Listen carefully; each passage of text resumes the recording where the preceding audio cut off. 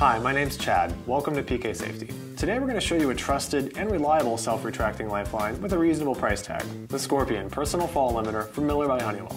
The Scorpion is a staple throughout the industry because of its quality and reliability. These things last for years, and the compact design makes them a great alternative to conventional, bulky, shock-absorbing lanyards. At just over 3.5 pounds, it's hardly noticeable when attached to a worker's back D-ring. Yet despite the Scorpion's small size, it has a weight capacity of 310 pounds and meets all relevant OSHA and ANSI standards for fall safety. The Scorpion comes in a multitude of configurations for a wide variety of jobs, and stops falls within inches, as opposed to the feet required when using a shock shock absorbing lanyard. These fall limiters feature 9 feet of high strength internal webbing, steel working parts, and a visual load indicator. So you'll always know if the system has been through a fall.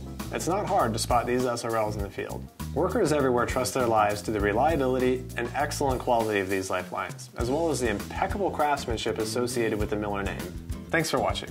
If you have any questions about the Miller Scorpion or any of the other self-retracting lifelines that we offer, feel free to give us a call or visit us online at pksafety.com.